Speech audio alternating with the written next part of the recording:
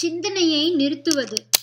வாய் மௌனத்தோடு தினமும் கொஞ்ச நேரமாவது எதையும் நினைக்காமல் சிந்தனை தாரையை அடக்கி வைக்க வேண்டும் என்று சாஸ்திரம் சொல்கிறது. துர்ஷனின் கிஞ்சித் அச்சிந்தையே சாதிப்பது கஷ்டம்தான். இதற்கென்றே உட்கார்ந்தாலும் எப்படி ஒன்றையும் நினைக்காமல் இருப்பது ஒன்றையும் நினைக்காமல் இருக்க வேண்டும் என்ற நினைவுதானே இப்போதும் வந்து கொண்டிருக்கிறது என்று தோன்றும். மனஸ் எதையும் நினைக்காமல் இருக்க வேண்டும் என்று பிரயாசைப்படுவதும் மனசின் ஒரு காரியம்தான். சிந்தையை அடக்கியே சும்மா இருக்கும் திறம் அரிது என்று சொன்னது இதனால்தான். ஆனாலும் இப்படி பண்ண வேண்டும் என்ற பூர்ண ஈடுபாட்டோடு விடாமுயற்சியுடன் இதற்காக உட்கார்வது என்று ஆரம்பித்தால் ஈஸ்வர கிருபையில் அந்த லட்சியம் கொஞ்சம் கொஞ்சமாக கைகூட ஆரம்பிக்கும்.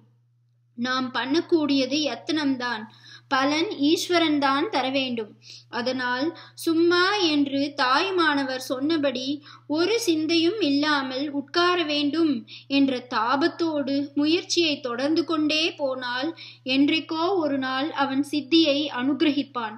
ஒன்றையும் நினைக்காமல் இருக்க வேண்டும் என்பதற்காக சாதனை பண்ணும்போது ஒரு ஸ்டேஜில் சில பேருக்கு மனஸ் சிறிது நேரம் காலியாக போய்விடுவதுண்டு. அதாவது அதில் எண்ணம் எழும்பாதுதான். ஆனாலும் அது ஆத்மானுபவமாக இல்லாமல் வெறும் சூன்யமாக இருக்கும்.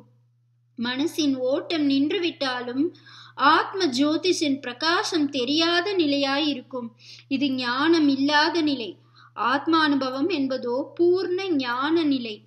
ஆத்ம ஜோதிஷ் என்றேனே. அப்படியானால் அது அக்னி மாதிரி ஒரு ரூபத்தில் இருக்கும் என்றா அர்த்தம்? இல்லை. ஞானத்தை தான் இங்கே ஜோதிஷ் என்பது. அறிவொளி என்பது இதுதான். இங்கிலீஷிலும் ஞானம் வருவதை என்லைட்டன்மெண்ட் இல்லூமினேஷன் என்றே சொல்கிறார்கள். இந்த அறிவு இன்னொன்றை ஆராய்ச்சி பண்ணி தெரிந்து கொள்ளும் அறிவில்லை. இது இன்னொன்றாக எதுவுமே இல்லாத தன்னைத்தானே தெரிந்து கொள்வதுதான்.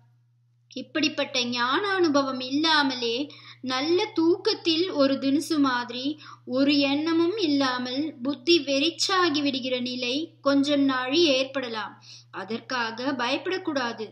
இது தற்காலிகமாய் இருப்பதுதான். ஆத்மாவோ ஈஸ்வரனோ அந்த எதுவோ ஒன்று தெரிய வேண்டும் என்ற தாபத்தை விடாமல் பிரார்த்தனை பண்ணிக்கொண்டு தொடர்ந்து இந்த பிரயாசையில் உட்கார்ந்து வந்தால் இந்த சூன்ய நிலையிலிருந்தே ஈஸ்வரபரமாக ஆத்ம சம்பந்தமாக மாத்திரம் நினைக்கிற நிலைக்கு போய்விடுவோம்.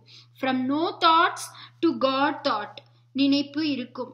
ஆனால் இப்போதுள்ளது போல் இந்திரிய பிடுங்கள் உள்ள நினைப்பாக இல்லாமல் துன்ப கலப்பே இல்லாத பேரின்பமான ஈஸ்வர நினைப்பாக இருக்கும்.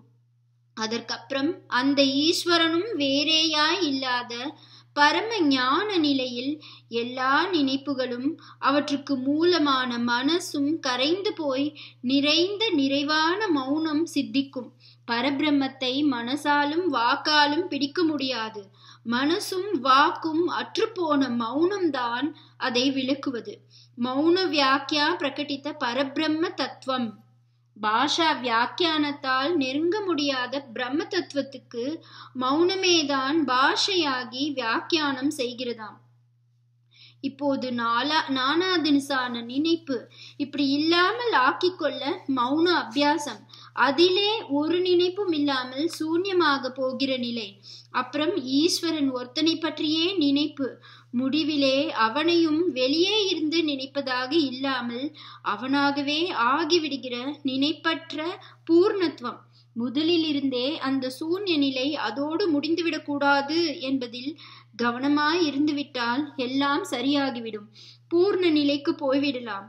முதலில் உண்டாகும் சூன்யத்தை லயம் என்றும் முடிவில் உண்டாகும் பூர்ணத்தை சமாதி என்றும் சொல்வார்கள்.